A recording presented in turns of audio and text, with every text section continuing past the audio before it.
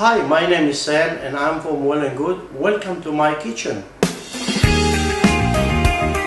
I'm very proud to present my new range of products. but today we're going to talk about the crusty bread mix, show you how to make roll bread and it's very very easy to make.